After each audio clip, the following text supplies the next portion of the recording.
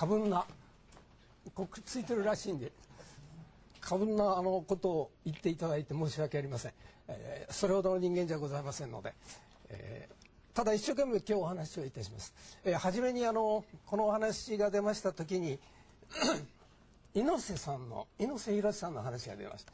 それであの私猪瀬さんご生前いろんなところで委員会だとか国際会議だとかいろんなところでよくご一緒してその記憶があるもんですから今日お話の初めに奥様をお見えになってらっしゃるんで、えー、ちょっと触れたいんですがあの例えばオランダのハーグで国際会議がありましてご一緒しました その時インドネシア料理のお店でお昼ご飯食べながら話をしてで猪さんは私をよくからかったらしいんですけど私は初めのうちからかわれてると思ってないんですよ。それでね 例えばそのその時今でもよく覚えてるんですけどあの IBM ね。IBM に行くと至る所に「スティンク考え考えなさい」と「考える」と。いう言葉がそこら中にこう貼り付けてある。で、うん、それは聞いたことがあるんでそうだそうだと思って話をしてそしたらその後で猪瀬さんが「だけどね IBM の工場に行くと「Don't think」と書いてある。で私それ本当だと思ったんですよ。ところが年を減るに従ってあれどうも私は担がれたらしいんですね。それで、えー、あの方今いろいろ考えると私をおちょくることを楽しんでらっしゃったのかなと思う頭のいい方ですからね。ところがそのハーグの会議の時に 4日間の会議で3日目の夕方のセッションで、えー、突然明日の午前中の最終最終セッションはディスカッションのサマリーをやると議論をやると。誰かディスカッションのサマリーを今晩書いてくれないか。言ったら猪木さんが一番先に 手を挙げてここにいるドクター菊池は大変そういうこと。がうまいと。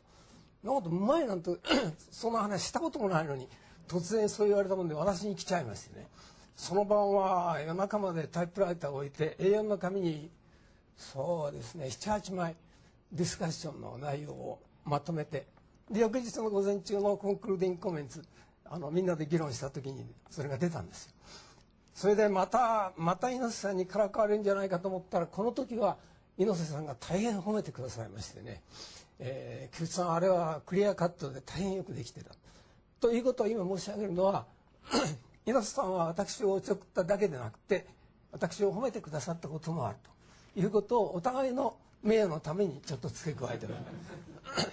さああの今日今日お話ししたいと思いましたのは最初 エトレさんからこのお話が来ました時にひょっと思い出しましたのは 私まだソニーの顧問をやって本社にオフィスがあります。そこへロンドンのエコノミストという雑誌から電話編集部から電話がかかります。それは20ちょうど21世紀に入る時です。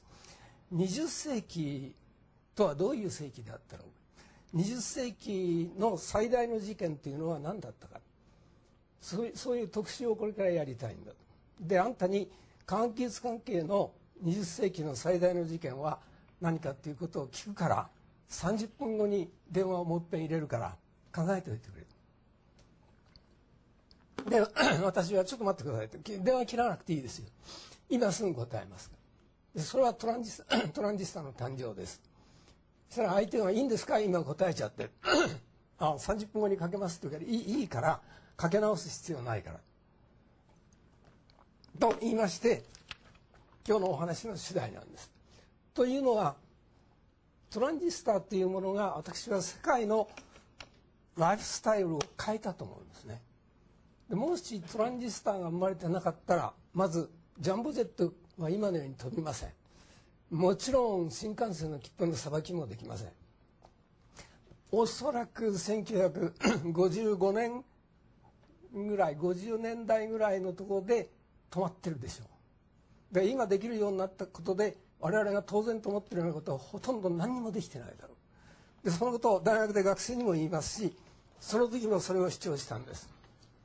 それじゃあ 現代の生活スタイルの一番ポイントは何何だろうかこれはあの簡単に言いますと賢い機械を使いこなす時代だと私は思っています。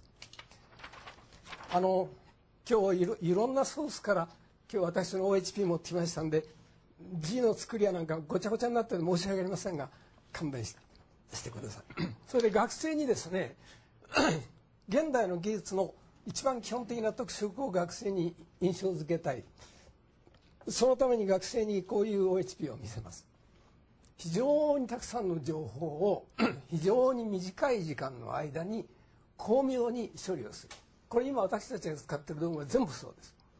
ただこれ一つ抜けてるんですよ。これ学生にこれを考えさせるわけです。これ皆さん試してんじゃないですよ。もう一つここに大事なことが抜けてる。それは安くということです。でそれができたということは 集積回路を私たちが使いこなすようになったからです。で集積回路を ここまで使いこなしたわけはトランジスタが生まれたからです。ですから最初に申し上げたように私はトランジスタが生まれたということのインパクトはものすごく大きいなじゃあその違いはどこから来るんだろう。トランジスタの前は真空管です。今日お見えになってらっしゃる方若い方が多いんで大学の学生と同じで真空管は知らない方が私大学で前講義して今も講義しませんけど学生に説明する時林が三平になったような気がする何か言っちゃそれは何が面白いかというとって説明しなきゃなんないですね。ああ俺は三平だなと思いながら真空管のどこがそのポイントかっていう説明しなきゃならない。学生は真空管知りません。これが真空管ですね。ご存知の方は当たり前。で真空管っていうのはどこに問題の根源があるかって言いますと真空のガラス管の中にフィラメントがあります。でこのフィラメントを熱するわけですね。1000度近く熱そこから電子が飛び出すわけです。この真空管の中でフィラメントを熱して電子を飛び出させるために大きな電力を使うわけです。この電力はこの電力は信号の処理に本質的に関わらない部分です。つまり余分なエネルギーを使っちゃうわけです。つまり給料をたくさんもらって働かないというデバイスです。それが一つです。非常にこれ専門の言葉で言えば効率の悪いデバイスです。もう一つはフィラメントが切れるということです。つまり人間と同じでモータル死ぬべき性質のデバイスでそれに比べて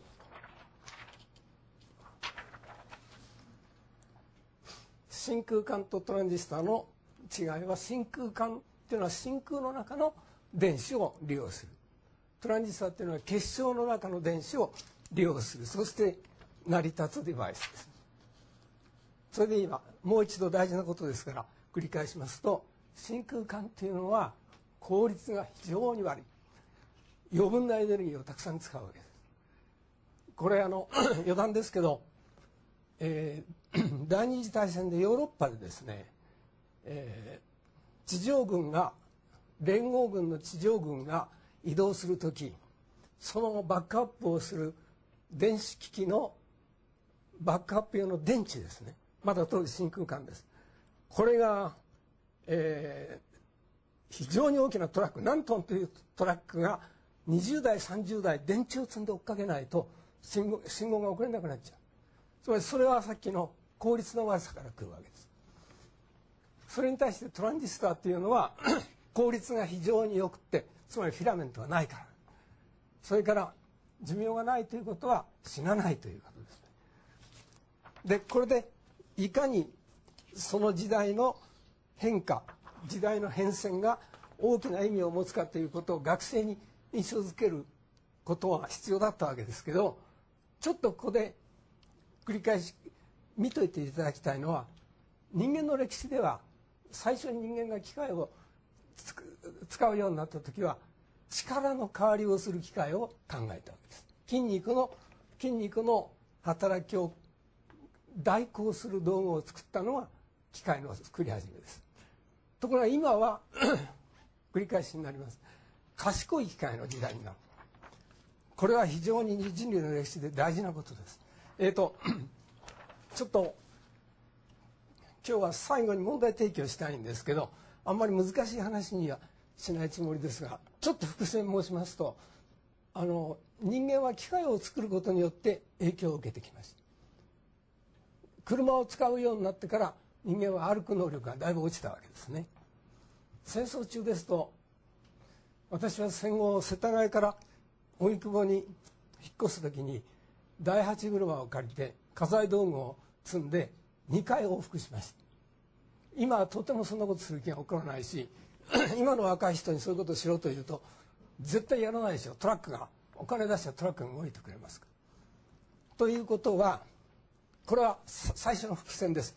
時間がなかったら後ではあの触れませんけどさっきのお話のここですね。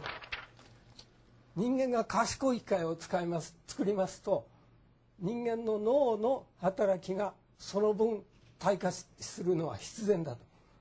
今いろいろなことが起こりかけていることに 関わりがあるのでちょっと触れておきます、えー、後でもう一遍この問題は掘り返さないつもりですが、えー、今日のお話に本質的に関わるので、えー、ちょっとだけ触れます。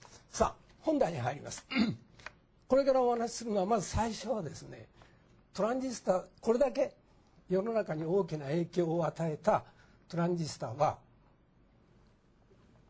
どういうことからそういう 研究が始まったのか。そのお話からいたします。それでそのお話に入る前に1900大体 40年ぐらいの頃のお話をしたいんですけれども1932年が大アメリカの大恐慌です。でその後回復するわけです。でその時代にアメリカの中で非常に重要な国家的な研究プロジェクトがありました。それはレーダーの開発です。これはアメリカの国 NDRC っていうのは 国家的な研究プロジェクトです。ナショナルディフェンスリサーチえー、コミッティです。でこれに絡んだ研究というのは兵器に電波を積極的に使いこなす。レーダーですね。でそのごく一部として例の飛行機にぶつかって跳ね返ってきた非常に弱いマイクロ波の電波をピックアップするために昔はラジオに使ってた鉱石検波器これが研究の対象になったわけです。昔は拾ってきた鉱石に針を立てるだけでしたけどそれではダメだと。本質的にこれを改良するには学問的によく原理を調べてそして 性能を改良しなきゃな。実際これには有名なトム・ワイスコープとかハンス・ベーテといった全然違う領域で後世に名を残した人がこの時期に鉱石検波器の研究にちょっかいを出しています。これ証拠はいくらもあります。でこれが今お話これからお話しする時のアメリカの社会のあのバックグラウンドです。さあそこで最初のキーパーソンを引っ張り出します。この顔を知ってらっしゃる方、えー、あんまりいらっしゃらないかもしれません。あ実は今日ですね 私がお話しする人間人は全部私が直に会って直に議論した人ですがこの人だけは私直に会ってないんですよ。この人偉すぎて私が MIT のアメリカの大学の研究所にいた頃にもうすでにベル研究所の所長も辞めて引退してます。もうアメリカのこの方面では巨人です。このマーヴィン・ケリーという男が最初のキーパーソンです。このキーパーソンについてのお話から入ります。この人はその時何やってたか。ベル電話研究所のさっきお見せした電子管真空管ですね電子管研究部長です。で彼がですねすごいところはまず第一のすごいところを最初にお話しいたします。彼はですねまずこういう説問説問をするわけです。ベル電話研究所はこれ1930何年ですよ。アメリカの社会の将来のために何をなすべきか。これはですねちょっと横道にそれますがこういう発想っていうのは私がこれまで関わってきた大体私の上司にいた人たちがその対象ですがこういう視点で研究とか開発のプログラミングをするした人が少ないんですよ。多くの場合どうやって予算取ってくるかってことの方が先なんです。もう自分の受け持った分野は肥やす増やすことが前提なんですねところがケリーの場合そうじゃないんです。アメリカ社会のために我ら何をなすべきか。で彼はあのこれ英語圏の人の特色ですが非常に単純にパッと答えを出します。これはほとんど即座に出したらしいんです。この辺の話はショックレイから詳しく聞きましたアメリカ全土にわたって高性能の 電話のネットワークを作る。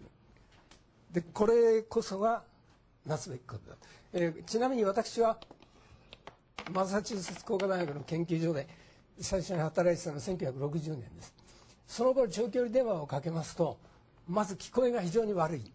それから交換手の声がよく聞こえない。しかも日本人があの頃の日本人がアメリカの交換手の女の子と話してると必ず相手が怒るんですよ「何ぼやぼやしてんの?」って言って怒るわけです、えー、そういう時代にアメリカの電話網っていうのはまだ極めてレベルが低かった。しかしケリーはですねアメリカっていうのは非常に広い国土を持っている。そこにたくさんの人がいる。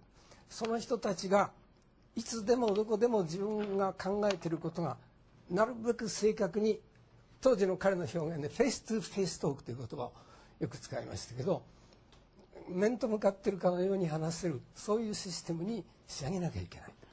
これこそが我々のなすべきこと。でこれは1935年に彼はもうこの結論を明瞭に出します。この辺がこの頃の政治家のあのいろんな話聞いててもあれもこれもいろんなこと言うでしょケリーはねその時その時非常に明瞭に簡潔な表現をいつもとって方針を決める男ですさあそれでそれを実行するには次の結論です。電子間さっきお見せした真空間では不可能である。これがねまた彼のすごいところでこれダメだって言うんですよ。真空管を持ってやろうとしたらこの責任は全うできない。でさっき僕が申し上げたすごいところっていう意味は彼は将来価値ある仕事を作るしていくためには自分の担当の電子管開発部研究部ですね。その対象である電子管を踏み潰してしまわなきゃダメだと。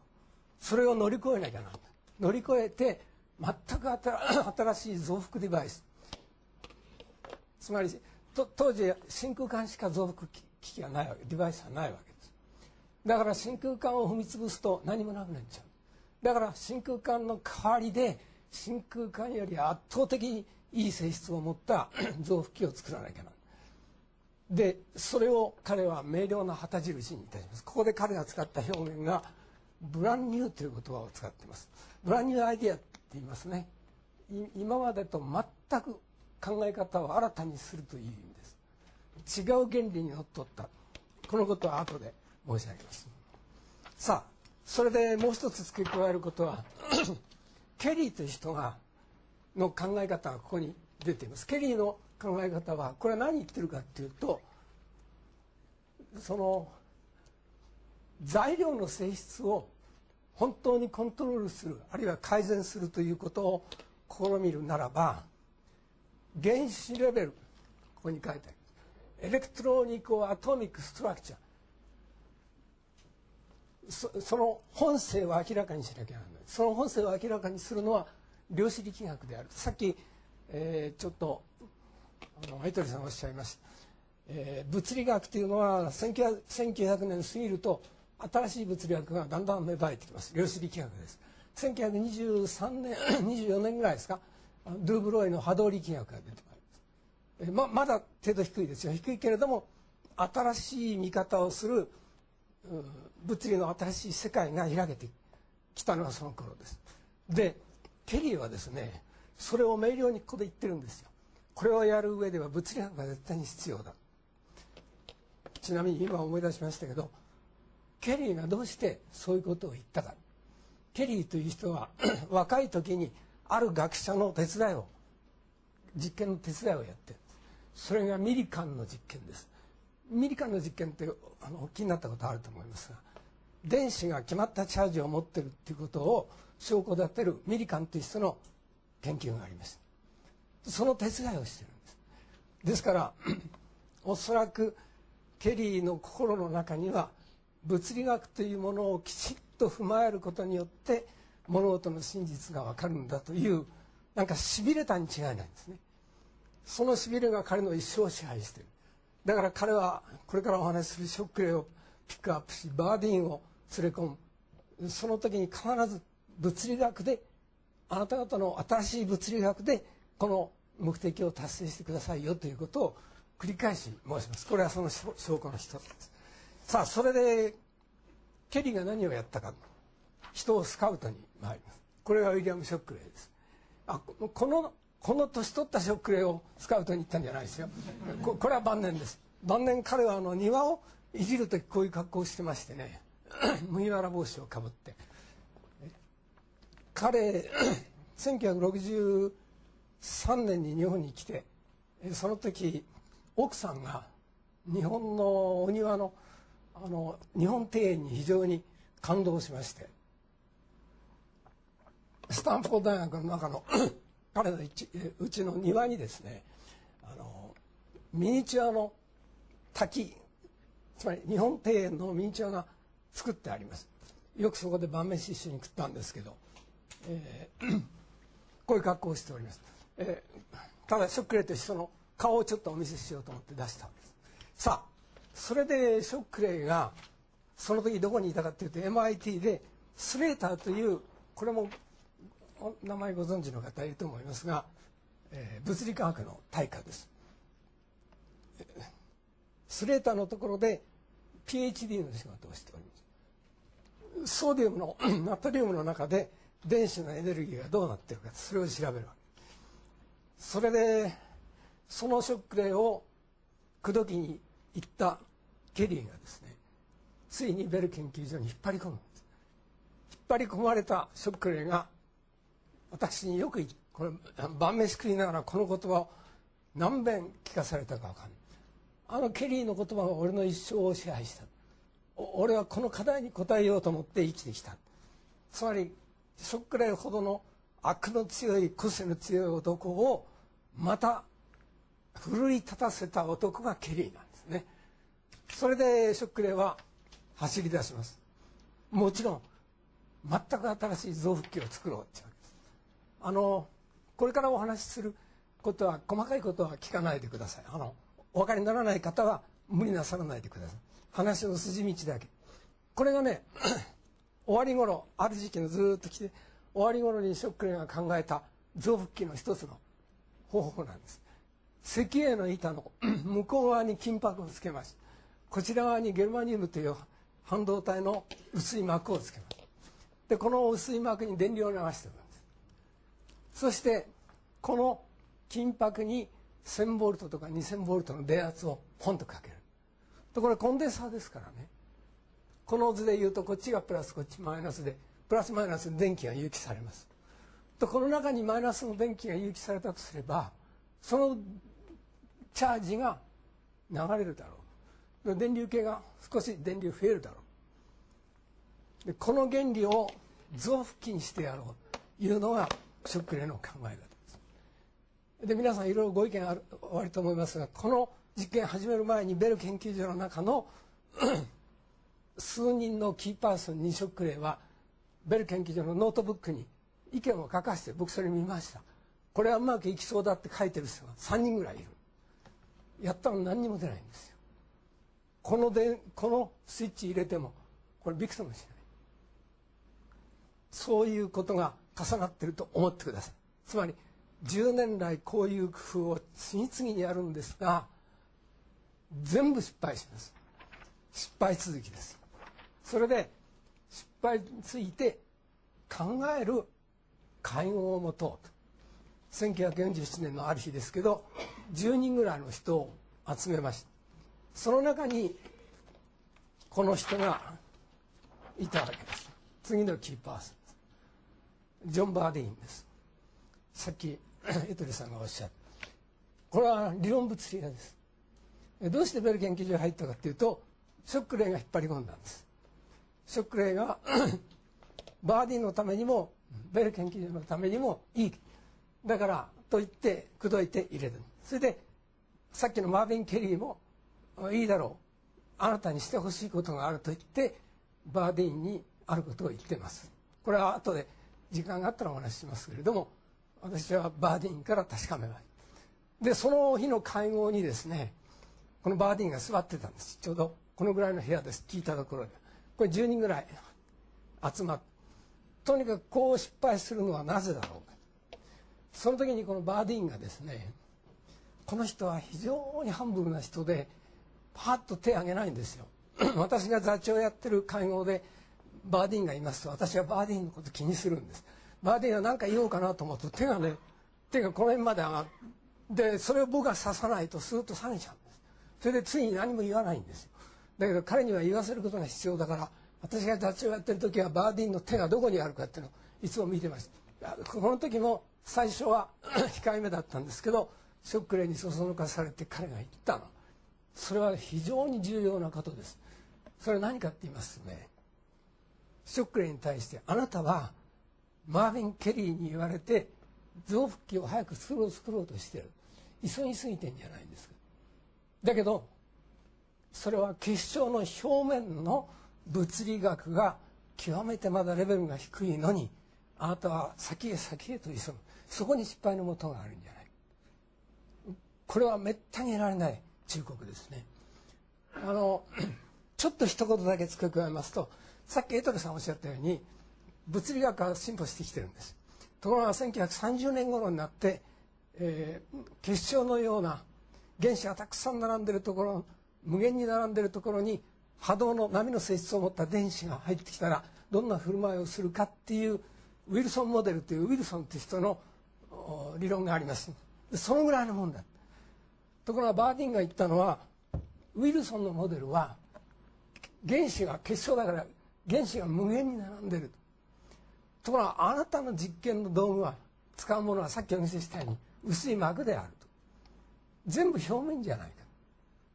結晶の表面について現代の物理学は何も分かってない。現代の物理学は表面について何も分からないのにあなたは先を急いで臓復帰を作るんだ作るんだ。そこが間違いのことじゃないだろう。ショックレイは後にこれも晩飯食べてる時でしたけどあれほど有用なアドバイスをもらったのは私の人生であの時だけだということを言っています。さあそれでこのバディーンが偉いのはですねそこまで言っておしまいにしないで自分で一つの仮説を出します。理論屋が仮説を出すっていうのは勇気がいるわけですよ。あの言いっぱなしなら別ですけどね。えーと、これもちょっとここだけの後ですぐ忘れてください。こここの部分だけ。ここの部分だけ。ちょっと見ていただきたいんですけどここから向こうが結晶なんです。ここが表面なんです。でバーディンが言ってることは何かって言いますとね結晶の表面に電子を捕まえておく入れ物ができているという仮説なんです。それで結晶がここにありますと結晶の表面には結晶の中にある電子が表面に出て入れ物に入っている。ここに100個入れ物があると100のうち60あるいは100のうち80電子が入ってる。これが 表面というものの状態であろうという仮説です。つまりこの入れ物のことをサーフェスステイツと呼んだわけです。これがバーディンの有名な仮説です。でこの勇気ある仮説を受けてそれの証拠を取る実験をやったのがこの人です。これあのトランジスターでノーベル賞をもらった3人ショックレバーディン。これがウォルター・ブラッテン余談ですけどブラッテンの晩年はアルツハイマーになりましてね、えー、これだけの業績を上げる人でもアルツハイマーを避けることができないと私は非常に残念に思った記憶があります。ちょっとついでですから余興をお見せしましょうか。これね トランジスタが生まれたのを記念してこれ1948年、えー、6月に発表されたこの3人発明者3人の記念の写真ですよ。でこれ25年経ってから同じ人を同じように並べた写真を撮ったやつがいるんです。いかにもアメリカ人。それでお気づきにならなかったでしょうけどこの中で若返ってるのは顕微鏡だけです。顕微鏡だけが新型になってます。さあそのブラッテンがですね何をやったか。バーディーンの仮説を証拠立てるためにですね他は見ないで結構です。結晶があります。これも見ないでください。結晶の表面に針を立てます。で電流を流すんですね。とここにバーディーンの言うサーフェスステイツが。サーフェスステイツが100ある中に今電子が60入ってるとしますね。でその状態で電流を流しておきます。でここに電解液をこれ表面張力で持たすんです。私も実験やりましたけどやればできるんですよ。あのナイトルグリセリンみたいなものをこうつけますと表面重力でこう止まってます。ここに白金の電極をつけてこれに1000ボルトぐらいの電圧をかけます。そうするとこれ100ある中に今60入ってるのを100の入れ物の中に80電子を入れることができる。できるはずです。そうするとここを流れる電流が変化するはずですね。それでバーディーンのコアですから表面の物理学の研究ですよ。一度すごい原点に戻ったわけです。臓器のことを一旦忘れて今この実験をやってるわけです。ところがブラッテン先生一生懸命やるんだけどこれうまくデータが出ないんですね。それでブラッテンが次に考えたのはそれじゃあもっと極端なことしよう結晶の表面に酸化膜をつけましてその上に金属の薄膜をつけます。でこの薄膜に高い電圧をかけるわけです。そうするとここからフリンジアウトする電場でこの針の先が触れてるところのサーフェスステージに電子が入ってる分量を加減できるだろう。さっきのさっきお見せした現象をもっと効果的に表現できるだろうという実験をブラッテンがやったわけです。ちょっと付け加えます。とブラッテン先生っていうのはね実験の虫なんですよ。私にはよくわかるんですけど何でも自分でやらなきゃ気が済まないんだこの人。はもう結晶いじりから回路をねじ締めるまで全部自分でやる。これも自分でいじったんですね。さあそれである日この実験をやっていまして今横から見たところですねこれちょっと誇張して書いてありますけどこう小さい穴です。この電流がここにかける電圧で どう変わるか調べて変化したんですよ。それでブラッテン大喜びしましてねあ効果出た。それでバーディンのところへすっ飛んでいった。でバーディン先生があ効果出たからよかったなって見たんだけどすぐにバーディンが気が付いたのは方向性逆なんですよ。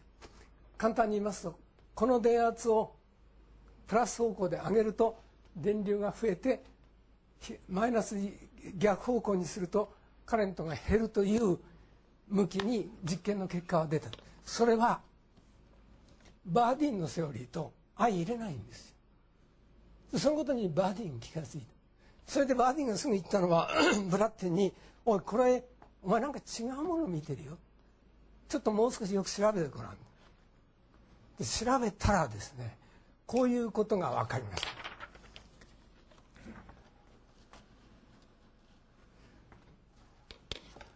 これさっきうまくいきませんでしたね。でこれをやったわけです。でこうやったつもりだ。よく調べたらねこの酸化膜なかったんですよ。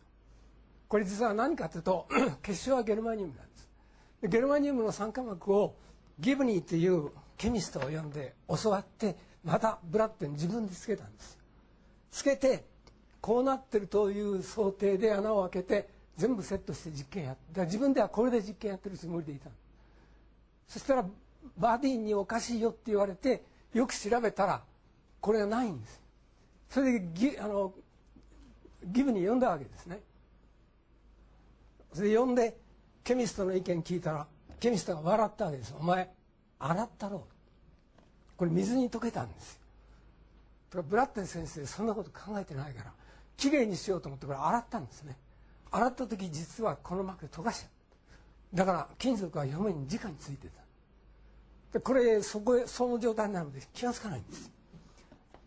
それであれ？そんならそんならここういう状態ならこれ針2本並べたって同じじゃないか。こうやってもう一度調べてるうちにですねこちらの回路の電流の変化を与えるとこちらの回路の電流が変化することが分かります。しかもそれが増幅をしていたわけです。でここにトランジスタが生まれるまでの歴史のあやが全部あります。ちなみに皆さんに実物をお見せします。ショッカレのうちに行って話をしてました。ら彼のうちの棚の上にこういうものがあります。なるなるかな。ちょっと明るすぎるかな。これね これ金属なんです。これはゲルマニウムの結晶なんです。これはねプラスチックのかけらみたいなくさび型をしてるんです。でこのこちら側とこちら側に金属がつけてあります。だから2つの金属を結晶の表面に非常に近いところに接触させるという実験をこれでやったわけですね。でこれで増幅をする音が見つかってああそれではこれはショックレイが最初から言ってたことができちゃったんだ。繰り返しますけど道を一遍完全に他の道回ってんですよ。回り道した挙句にこういう構造で結晶があって大きい電力が電極がこれついてます。2つの針電極が並べて立ててあります。これで左側の電極に電流変化を与えると右側の電極にもっと大きい電流変化が出てくる。これで増幅現象が出てこれこれがトランジスタの発明なんですけど現象の発見なんですがこれは1947年の12月の17日です。で1週間経って雪の降る日ですが確認のための実験をやりましたその時は 研究所の偉い人たちを呼んで増幅だけでは怪しいからフィードバックさせてオシレーションが発信が起こるかどうか調べる。で確認してそこでピタッと秘密保持を約束させます。研究やってる人に人にしゃべるな。一番先にその約束を破ったのはブラッテン。か彼って余談ですけど彼はオートバイで通ってたんですね。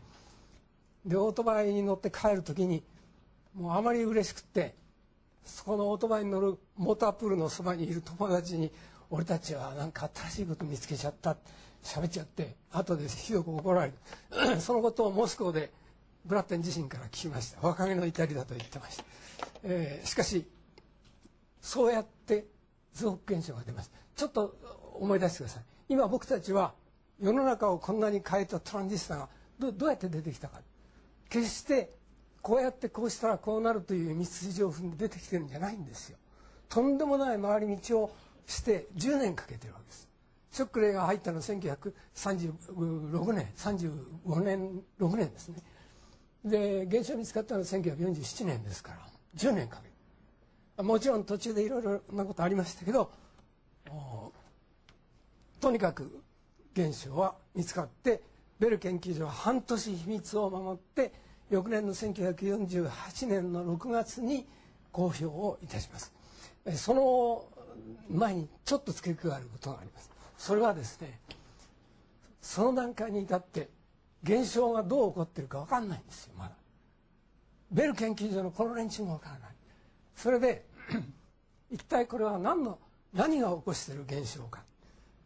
それで当時バーディーンもその周辺の人も針をこう近づけて起こしている現象ですから表面の非常に薄いレイヤーの中で何か摩訶不思議なことが起こってるんじゃないそういうことを考えるわけですね。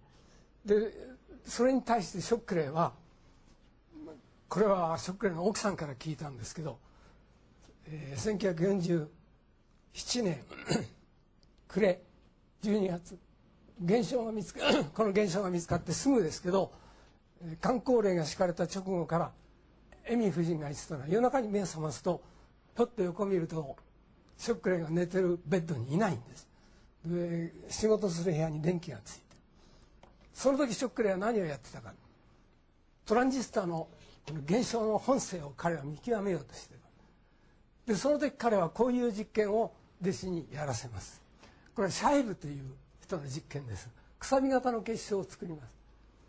それで広い電極をつけてこのくさび型の頭の脇のこの表面に針を2本立てて同じことが起こるかどうか調べる。でもし 表面を伝わってことが起こるんだとするとこの距離は相当長いんでこれ現象が起こるわけはないんです。だのにこの厚さが薄いと同じように現象が起こる。それでショックレーは確信を持ちましてこれはバルク結晶の中で起こっている現象だと。それで彼は今日使われているトランジスターの原型を理論で作り上げてしまうんです。これがジャンクショントランジスター。今日使われているのはみんなジャンクショントランジスターです。さっきご覧になった針を立てるトランジスターは今は博物館にしかありません。世界のどこでもこんなものを使ってる人はいないわけです。でショックレーはこの理論を1ヶ月足らずで作り上げまして 1940、えー、1948年の2月にベル研究所の研究会で俺は今こういうモデルを頭に持ってるというプライオリティを主張してこれがショックレーのジャンクショントランジスタのセオリーです。これは完全に正しかった。だけどそれが実験的に証明されるのにさらに1年3か月ぐらいかかりました。それは結晶をいじる技術が不十分だったためにショックレーが言った通りに ここに薄い層を作ることが実際上できなかった。からしかし1年2か月経ちますとそれが完全に証明されて実験の結果は理論とぴったり合います。これがショックレーのすごいところです。ちなみに余計なこと言ってると時間がなくなります。さっきノーベル賞の話が出ました。ノーベル賞が決まった時にショックレーの弟子がですねショックレーにそれを知らせに行ったんですね。やっぱりショックレーさすがのショックレーもちょっと喜んでニコッとしたらしい、えー、トランジスタでノーベル賞が決まりました。その後であなたとブラッテンとバーディンと3人に行った時にムッとしたそうですショックレーが。それで一言「俺だけもらえばいいんだ」その弟子は聞いちゃった聞いちゃったと。思って私にまで話したんです。ちょっと誰が言ったかは言いませんけど、えー、だけどそれ意味はわかるでしょ今日のトランジスタの礎はショックレーがそれをやらなきゃ出てこないんです、えー、ショックレーという存在は本当に歴史に残る存在です。さあそれで、えー、1948年の公表が6月、えー、最初に軍隊関係その後一般の人相手に発表があります。それでそれが「ニューズウィーク」と「タイム」週刊誌に載りましたその1ページです。ご覧のように「The Tiny Transistor」初めての記事です。こう来ましてこう来ましてここでおしまいです。今日これほどのインパクトを持ったトランジスタが生まれた時の記事はこれだけです。これがその時のトランジスタです。まだショックレーの接合トランジスタじゃありません。後でお話をします。これトウモロコシの引き割り機の話です。あの学生によく話すんですけど歴史を動かす本物というのはなかなか初めに認められない。初めから大げさなことを言うのにろくなものはない。ということを学生によくお話をします、えー、時間が配分がありますのでトランジスタが生まれるところまではそこでおしまいにいたします。で次にそれが日本に入ってくるところちょっとお話をいたします。で今これをお見せしましたね。ところが今は学術誌でも何でも航空便です。すぐに我々の手元に来ます。ところが ところが当時はそんな道筋はないわけ。です学術論文でもみんな船便ですから図書館行って待たなきゃ手に入りません。一体どっからどういうふうにして日本にそういう情報が伝わってきたのか。敗戦後の日本やっぱりポイントは GHQ です、えー、この間アメリカで話する時当時この GHQ を Go Home Quick と言ったって言ったら大変アメリカ人は喜んでました吉田茂が言ったという説もあるんですよね。それで GHQ に科学技術関係のアタッシェがたくさん来てました。優れた人たち。あアメリカのアメリカのエリートっていうのはやり方決まってるんですね。どっかへ入っていく時にはそのことの分かるカウンターパートの優れた連中をまず把握するわけです。でそれと横横の水平方向につながりをつけていくわけです。ですから GHQ のいろんな人たちが事あるごとに日本のここにちょっと書きましたけどさっきお話ありました電子技術総合研究所はじめ電気試験所という名前です。商工省電気試験所それが通産省電気試験所通産省電子技術総合研究所変わってきました、えー、ここの後でお話しするような鳩山道夫さんとかそれからここから分かれて NTT に行きました。三鷹の電気通信研究所というのがあります。今 NTT の研究所になります、えー、そういうところの人東京大学のあの学長代行をやった久保良吾さんその弟子の山下二郎さんたち。東北大学の大ボスの渡辺。これ我々はみんな姉さんって。私あの 女の人かと思ったらみんなが姉さん姉さん渡辺姉さんっていうのはひげを生やした怖い先生です、えー、おボスおボスです、えー、こういう人たちがにアメリカの科学技術のコミュニティから接触が入る。あの余談ですけどある人がですね GHQ のこの担当官のところに来て世間話をしてた。そしたら「俺はこれからトイレ行く」って相手が言うんだそうです。なんで今日はこの人こんなことわざわざ断るのってまた俺な俺ちょっと今からトイレ行くからって見たらテーブルの上に書類が広げておいてそこに大事なトランジスタの発表の記事が並べてある。つまり今俺いなくなる間に見ておけということなんですね。それを見ておけというわけいかないです彼は。それで俺はトイレへ行くと。それでちゃんと見て。でそれから少し経ちますと書類がその方面から流れてきます。その証拠書類の一つ。あちょっとご覧になりにくいですがこれはあこれちょっと読めませんね。あのご説明しますとこれはあの トランジスタの発表をやった時の記事をタイプライターで打ったものがずっと回ってきたのをコピーしたものです。ところが私たち研究所に入った頃は今日のようなコピーマシンありません。私なんかもみんなあのえーと、電動でない昔のタイプライターでカーボン紙を何枚も入れてあのコピーを作ったんです。そうやって情報が少しずつ回ってきます。もう一つの例はこれです。これなんかひどいでしょ？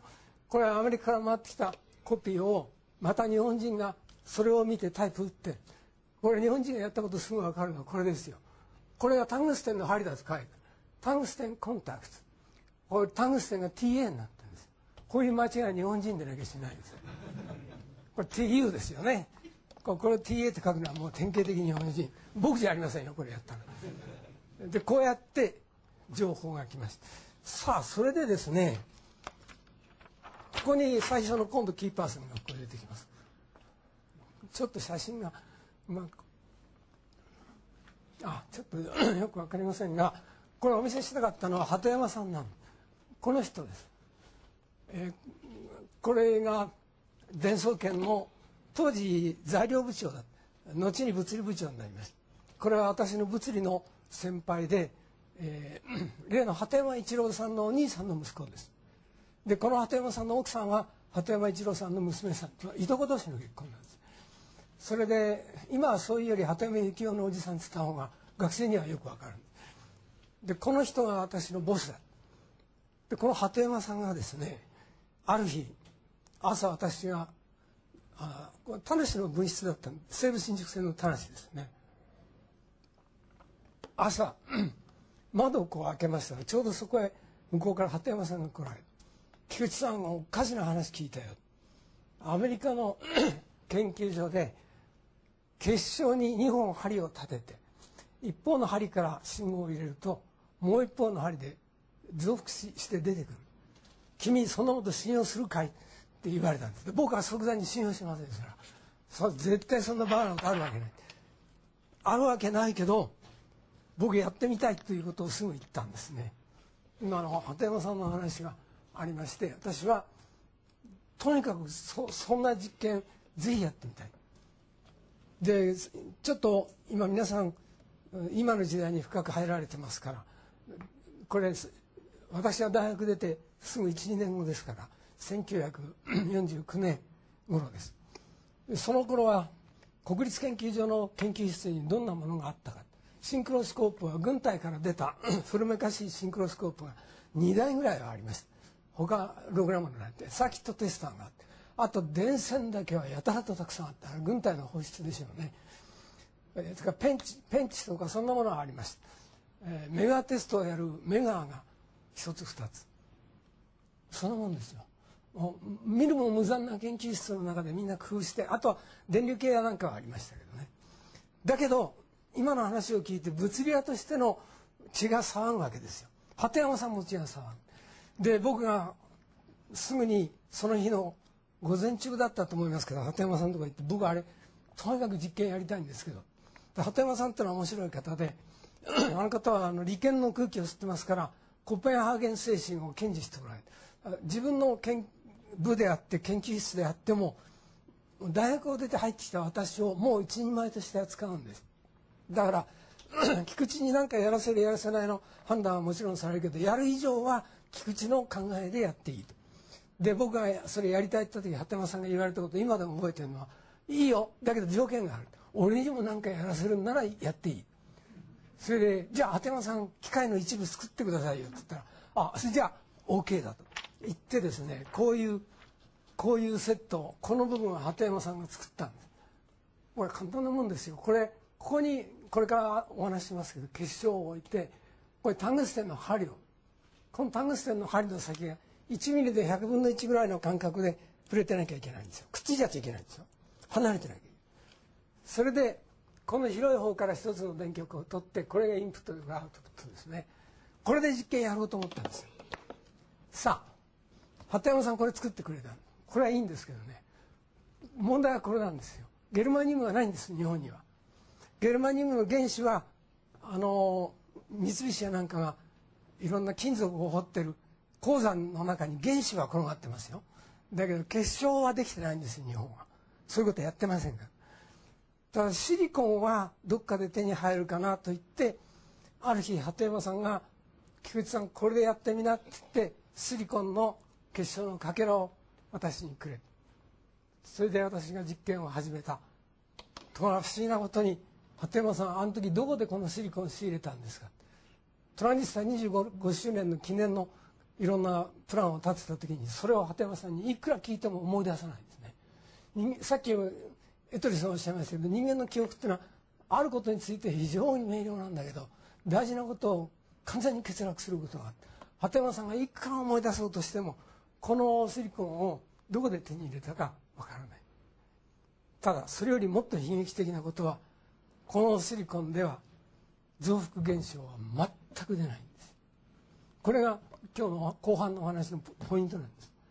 つまりこのこの日本で調達どっかからもらってきたシリコン。確かにその後今集積回路はシリコンで作ってますから。シリコンという結晶であることは正解なんだけどこういうこういうシリコンでは絶対に増幅現象出ないんです。そのことを知っていたのは日本に一人もいないんですアメリカにもまだいくつかの研究所の主だった人以外はそのことはわからない。それで私は骨身に染みたのは日本のその時のレベルっていうのはアメリカに比べたら天と地だというこれは骨身に染みました。えー、実際は増幅現象を私が見たのはその後でで当時の電気試験所今お話があった電子技術総合研究所の当時の所長の駒畑さんがアメリカに行くというので1949年だったと思いますが「菊池君何がお土産欲しい?」って言われて私はベル研究所の論文もらってきてくださいで駒畑さん帰ってこられて田無の私の研究グループのところへ見えたんで「駒畑さんお土産は?」っつったら「ダメだ論文はくれなかったそれはアメリカは論文は出しませんよクラシファイつまり公に発表したものはいいですけど新しい研究成果の論文は出しませんだけどトランジスタもらってきたよ。でその時小松さんがもらってきたのはさっき写真にありましたけどウエスタンエレクトリックのタイプのトランジスタです。これ長さがこれ小指の先ぐらいの思うんですけどね。これリード線があってここにこれ針はちょっといろいろ問題があるんでタングステンじゃありません。これゲルマニウムの結晶があります。でこれをですねお土産でくれた。で調べたら増幅しないんです。つまり増幅ちゃんとするようなものはお土産にくれないんです。持ってけって言ってもう増幅しないものしかくれない。それで僕がやったことは丁寧にこれ切りましてね。これ切りましてこれだけ引っ張り出しベトナムの戦争と同じですよ。アメリカの不発弾で飯炊いたっていうのと同じ。これを取り出してこれをマイクロマニピュレーターにセットして僕たちは初めてトランジスタの増幅現象を見たんです。それまでは日本にある半導体ではそういう現象を見ることはできませんでした。さあそれで一番申し上げたいこと私たちが骨身に染みたことはトランジスタというものが日本に入ってきて技術のカルチャーショックがあったんだ。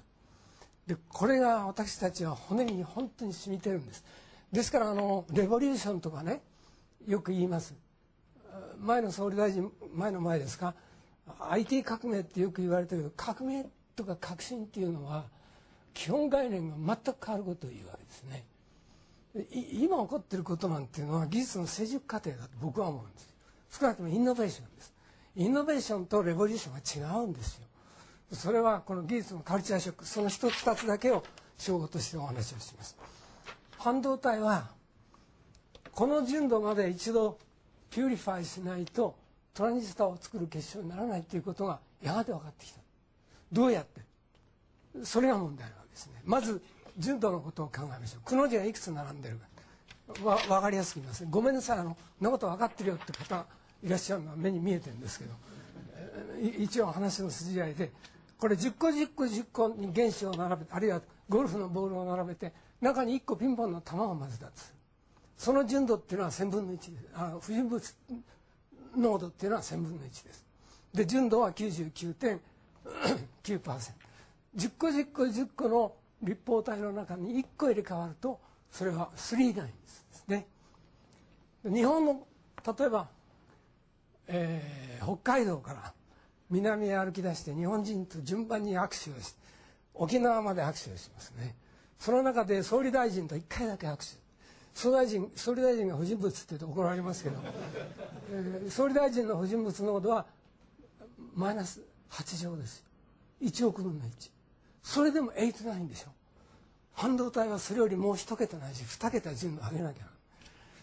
そんなことができるのかっていうとそのためにアメリカで編み出したゾーンリファイニングという方法があります。これあのパイプです。最初にこっちを見せてこれ僕たちが作った。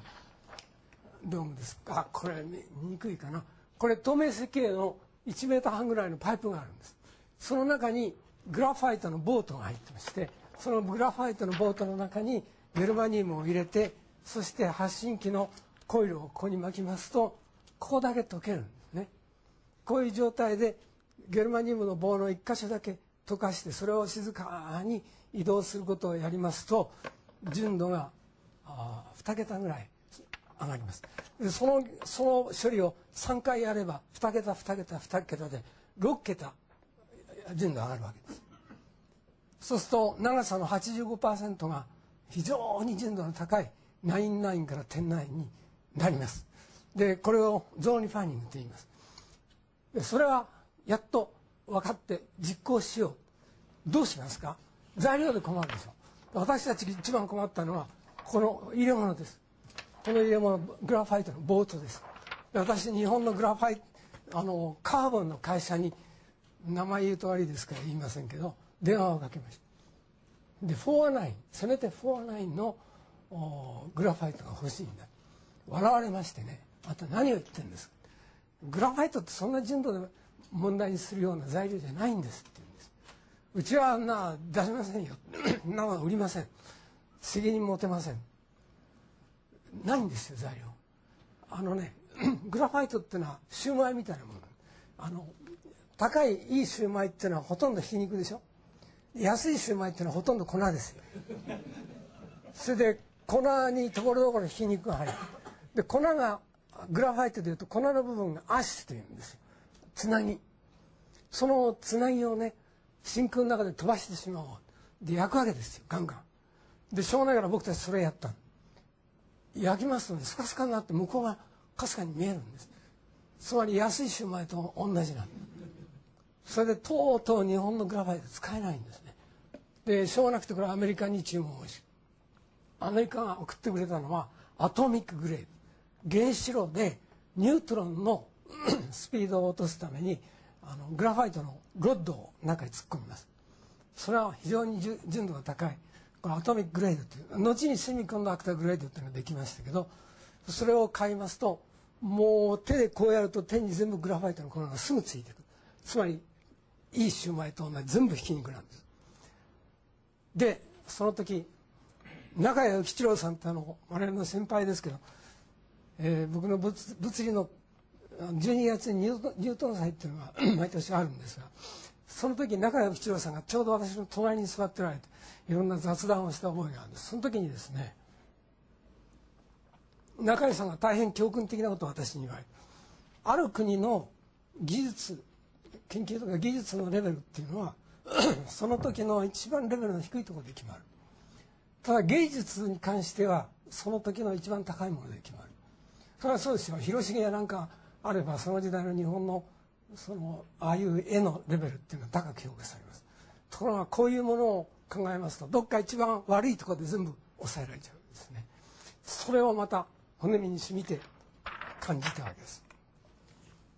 もっとひどいのはこれは簡単にいたしますけど単結晶の引き上げというのがありましてゲルマニウムの単結晶を引き上げる時には ゲルマニウムをやっぱりグラファイトのルーツ棒に入れていっぺん溶かします。それで溶けた上から種を浸し静かに引き受け引き上げるときれいな単結晶ができるんですけどその時の温度のコントロールはこれゲルマニウムの融点が940度大体940度。そこでプラスマイナス0.05度。これはあの当時想像もできない。パーセントで お考えになるとすぐ分かります。これを実現しないとできないんですよ。それで日本の企業がアメリカとライセンス契約しますとアメリカのその温度コントロールの機械と発信機の機械をどこに注文すればセットで買えるよってことを日本の企業は教わるわけです。だから僕が手紙出したんですそしたらねあんたは政府の研究所だろう。政府の研究所では売れないって言うんですよ。で僕は参考にでもその機会が欲しいから何度も手紙出したら政府の研究所とはライセンス契約ができない。ライセンス契約ができないとあんたたちが内容を世間の人にばらしてもこっちで文句言えないと向こうがね。だからそういうことはできないから売れないと。で結局私たち自分で工夫をしたわけです。最もひどい例だけ一つお話をします。あの当時私たちが変えたのは当時の覚えがあるでしょう。こういう温度計がありましたこれが当時一番高い温度計で温度計針が回るんですけどね。こんなものを使ったんでは単結晶絶対できないです。あ荒くて。ところがじーっと見てましたらね温度が上がっていくとねこれがちょっと動くんですよ。あこれこれ使おうっていうんであの針の真ん中のところに穴を開けましてそこに鏡を覚えましたでこの鏡にですね投光器から光を当てるんです。そしてから投光器でここに光を当てますと温度が上がってきてあの針がチッチッと動きますとね。その投光器のこの反射が天井にこういう明かりがいってるのがこうチッチッと動くが見える。それを見ればそれを見れば温度のコントロールできるんです。それでやっと単結晶の引き上げをやった覚えがあります。なぜなぜこんな話をするか。いかに日本が戦後ひどい状態から出発したか。それで最後のところに話を移します。それはですね日本はこういう状況で半導体の技術とその歴史の中に組み込まれていったわけです。私はよくこの図面を使うんです。これ山登りのアナロジーです。1950年赤丸日本ですよ。これがアメリカです。これヨーロッパで話す時はこれはアメリカって言いませんで先進国という。それでこう山登りしていくうちに追いつくんですがここはですねさっきお話しした鳩山さんが持ってきたシリコンでは増幅しないんですよ。その時今で覚えてるのは朝日新聞の記者が来てですねで写真撮ってるんです。でこれがトランジスタですがいやトランジスタらしいものだよ。これ増幅しないんだよ。だけど今は懸命にこれやってんだ。言った時に ああまだ後人を廃するということですかって朝日の記者が僕に聞いたで僕は違う。後人を廃するっていうのはまだ相手が行って塵が舞ってる時に言う今は塵が収まっちゃってるところで僕たちそのぐらいの距離を感じたんです。これはもう実感です。60年僕は63年からアメリカの Device Research Conference でペーパーを発表します。63年の時に僕はもう自信を持ったのは自分の専門については大体いいところまで来てる。対等に議論ができる。だけど perspective を広く取ったらまだとっても及ばない。余談ですけどね。私このチャートを持ってほぼでお話をしてフランスのリヨンでね話頼まれて行った時にあそこにクロード・ベルナール大学っていうのがあります。学長さんがデュピーさん。デュピーさんが今日のエトリさんのように座長をやってくださるでデュピーさんに僕は最後に僕の話はここでおしまい、えー、ここから質問を受けますって言ったんです。そしたらデュピーさんが立ち上がってね質問に入る前に我々はまず菊池に感謝しなければ菊池は紳士であるって言うんですよ。分かりますか？僕分かんなって言われて。それはね菊池はこの先を書かなかった。つまり我々に恥をかかさんために菊池はわざわざこれを書かない場所がないから書かなかっただけなんででも DP さんはとてもそれを高く評価してくる。であの私がそのこの絵を持って回った時に必ず行き着くのは2つ話が出てまいります。今日はおしまいのところはそこに収束するつもりですがどうして日本はこれは非常に欧米から見ると奇跡だと言われるんですよ。つまりあれほどの戦争でこっぴどくやられてどん底に落ちた日本がですねどうしてこんなに早く欧米にキャッチアップできたんだろう。どういうことがこれを可能にしたのか。これはグッドクエスチョンですね。で私もそれに応ずるようにいつも議論をいたしました。これが今日の一つの問題提起。皆さんは何を取り上げられるでしょう？私はねトランジスタというものの発表があったのは戦後3年目なんですよ。でこれがもっと後だったら日本はずっと割を食ってもっとやりにくか。ったあれよりもっと早かったら日本は手も出せなかった。その歴史上の時期のこれはあの神様の力占めたところで。これ国際会議特にアメリカとの会議でこの話になると私はこれは日本人が選んだんじゃないんだ。歴史の 時系列でそうなっただけ 日本はこれに対して文句言われる筋合いはありませんと言うんです。2番目が お気づきだと思いますけど当時の我々の先輩はトランジスタが入ってきた時に本当に夢中になってこれなんだろう？これ一つものにしてみよう。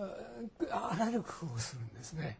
これはあの学習意欲がものすごく強かった3番目は 日本にこれを学習する社会に潜在能力がある。私はこれはあの明治大正に遡ってこれ寺子屋に遡った方がいいのかもしれませんが日本では読み書きそろばんのあるレベルに人々の知的活力っていうか能力が非常にホモジニアスにそう半導体技術とか半導体のいろんな開発をし遂げるためにはこれは極めて重要なファクターです。私の知ってるあのアメリカの男が、えー、ディトロイトで 半導体の会社を作ろうとした時クオリティのいいレーバーが手に入らない。日本なら何でもないのになということを彼はよく言っております。でこれは日本の学習能力日本人の学習能力粒揃いということですね。からその次は井深さんがトランジスタラジオを作った。井深さんはもう子供のようにそれをやりたがってやったわけです。ところがそれを買うお客さんがいたからできたわけですね。日本の社会っていうのは consumer electronics を非常に好む社会だったわけです。で同じことをフランス行って言うとフランス人はバカにしたわけですね。トランジスタのラジオのどこがいいんだ。だけどこれは日本ではその力になる。その次は日本のさっきの山登りでいつも前にアメリカがいます。これは大変大きなメリットです。逆に言いますとデメデメリットです。メリットというのは日本はどっちの方向へ進んでいくかってことはアメリカの背中を見てほとんど理解した。それを理解した時の日本の強さっていうのは抜群なんですよ。ところがそれが続いたために自分で努力して方向を見定めるのは面倒でやらない癖がついちゃう。いまだにそこを節約しようとするところが日本の世界に多いですね。日本の政治家でも科学技術大事にするとかおっしゃるけれども経済効果のことが非常に先に立っちゃって先進国のタイプの仕事をきちっとやっていくっていう体質はまだ決して身についていない。だけど過去を見ると2番手のメリットを享受したわけです。このことはアメリカのイーゴン・ローブナーという論客がいまして亡くなりましたけどヒューレット・パッカードの研究所におりまして非常に優れた男ですがソニーの研究所に来て コーヒーを飲みながら議論している時にしみじみと言ったのはアメリカはくたびれた。もう日本は力がついたんだからアメリカの前へ出てくれと。前へ出てくれということはこれから何をどうやっていくかっていうそのマネジメントを日本にやってほしい。今まで日本はアメリカの背中見てやってきた。今度は俺たちが楽する番だから。ということをローブナが何度も言っていました私にはそれがよくわかります。最後のお話。さあさっきの絵でですねこのお話をアメリカヨーロッパでしますと必ず出る質問は「この先どこ?」今度は赤丸が先行くの？赤丸はまだ後ろ？この質問です。で私の答えはあなたのようなシンプルマインデッドな人はもっと気をつけてものを考えてください。私の答えはこれです。というのはこれは私の考え方右手が日本左手が例えばアメリカですね。これ見ますとね 左手の指が出っ張ってるところと右手の指が出っ張ってるところとあるんですよ。これは日本が得意なところは日本が出るんです。アメリカが得意なところはアメリカ。例えばメモリー集積回路のメモリーなんで明らかに日本がうまくやってます。ところがマイクロプロセッサーの設計なんていうところになるといまだにアメリカの方が一律の長がある。あるいはインドとかあそれこそ東ヨーロッパの国の人の方が抽象思考が強いソフトウェアに強い部分があります。でこれは私はテンポテンポラリーな答えですけれども私はこういうふうに見てると言うんですけどこれからの日本って一体どういう方向に行くんでしょう？つまり政治家の方なんかはやがて日本は全部突破して一番一番世界で一番になる。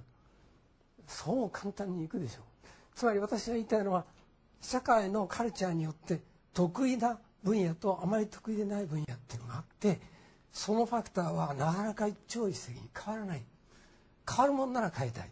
だけど変わらないんならどういうマネジメントがいいのか。そそういうところに話は来るんじゃないでしょうか、えー、大変長くなりましたけど私はちょっと最後にその問題を提起を付け加えておしまいにしたいと思います。どうも長い間ありがとうございました。